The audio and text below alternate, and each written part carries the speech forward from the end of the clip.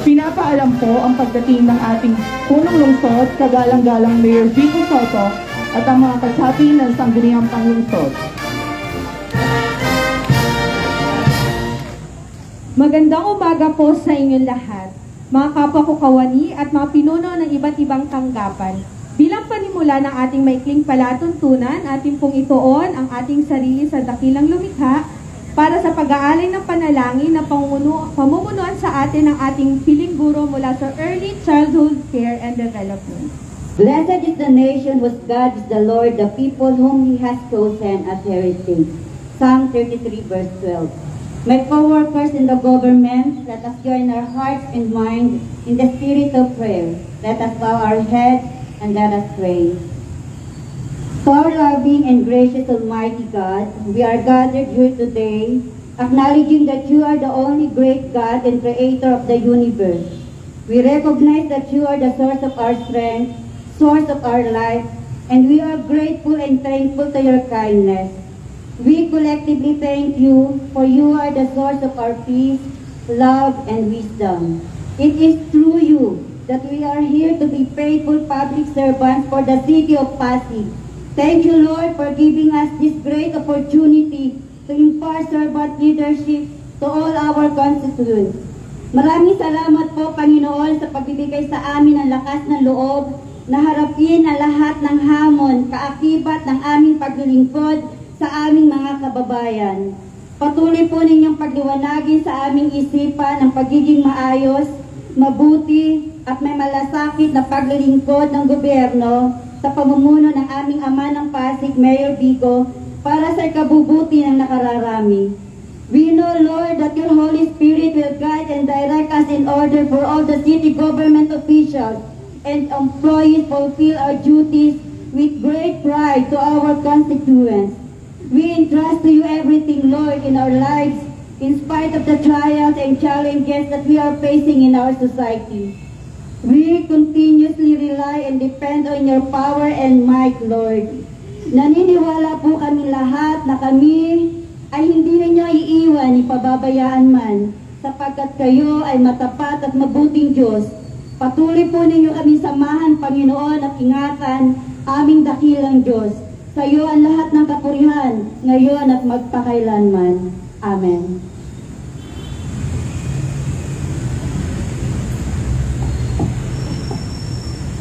Salamat po. Hinihilin namin humarap po tayo sa ating bandila. Ilagay ang ating kanang kamay sa kaliwang dibdib at awitin natin ang lupang hinirang sa saliw ng musika ng Pasig City Band at sa pagkumpas ng ating pong guro, Teacher Edita Estanislao. Mga kababayan, ang pambansang awit ng Pilipinas.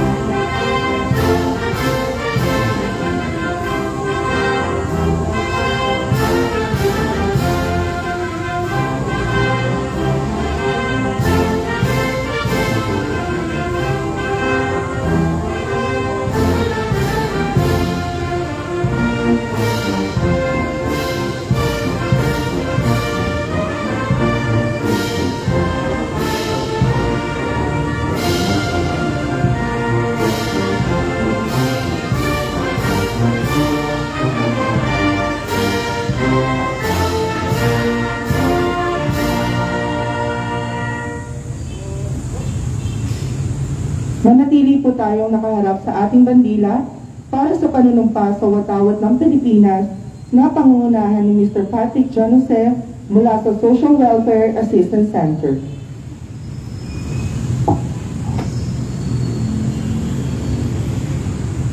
Taas po natin ang ating kanang kamay at sabay-sabay natin bigkatin ang panunumpa ng katapatan sa watawat ng Pilipinas.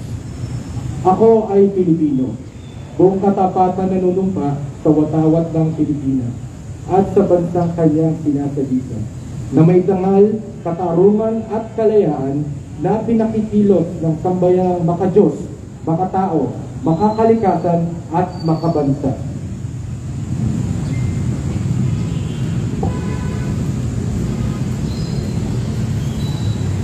Humarap po tayo sa bandila ng lungsod ng Pasig.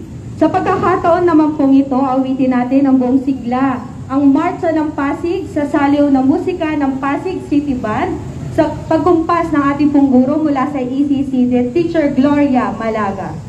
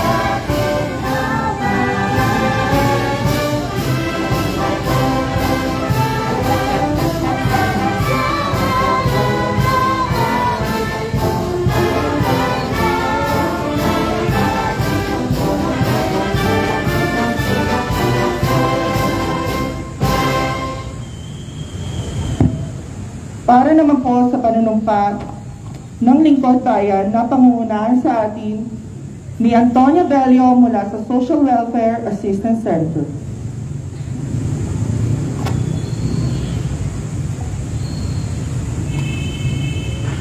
ang panunumpa ng bayan.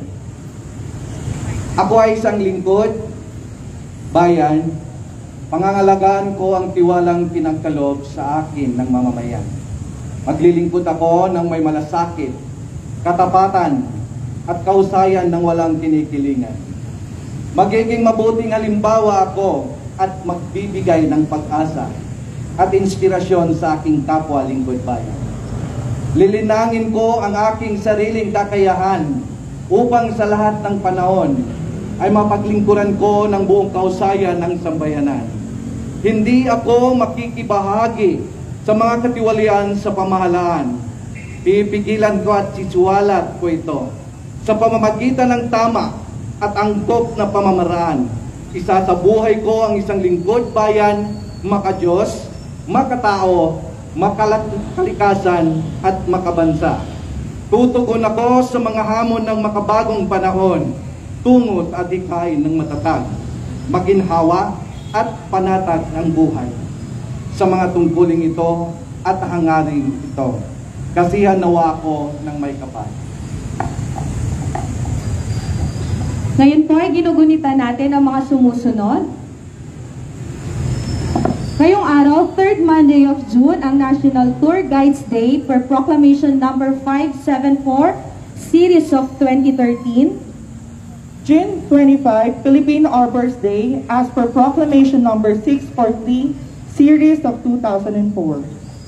Sa June 25 pa rin po, Per Proclamation Number 183, Series of 2011, the Day of the Filipino Seafarer, June 26, International Day Against Drug Abuse and Illicit Trafficking of Drugs, as per Proclamation Number 264, Series of 1998.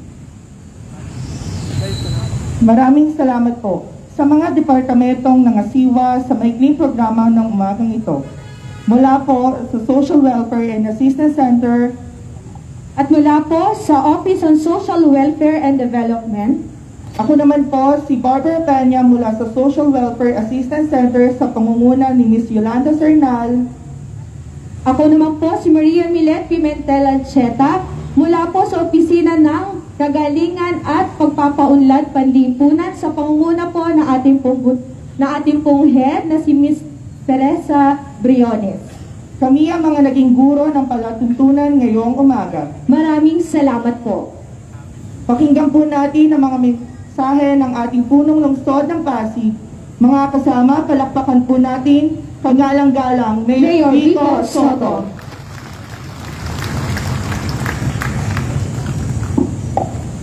Eh, maraming salamat po. Magandang umaga sa ating lahat, sa ating mga konsehal, sa ating ah, CSWD, sa pumuno ni Ma'am Tess, ah, sa ating Social Welfare Assistance Center, SWAC, na Ate Lani, at ah, sa mga nag-aantay dyan sa Pasig City Band na kumakanta pa rin ng happy birthday hanggang ngayon. Tapos na ang birthday ko. Last Monday, kumanta na rin kayo. Okay na po yun. At uh, siyempre sa ating uh, ACCD na pinakita sa atin ang kanilang, uh, pinarinig sa atin ang kanilang magagandang boses. At um, lahat po nandyan sa tabi-tabi, magandang umaga po ulit sa ating lahat.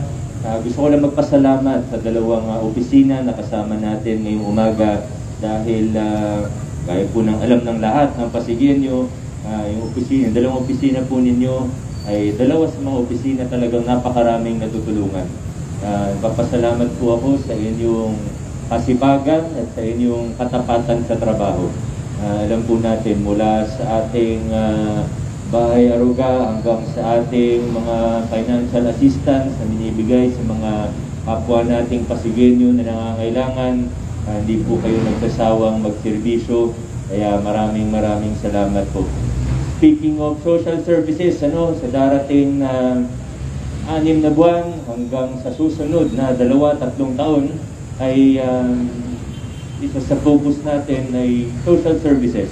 At napakarami pa nating uh, mga, kung ano yung nagawa natin itong nakaraang tatlong taon ay uh, kailangan higitan pa natin.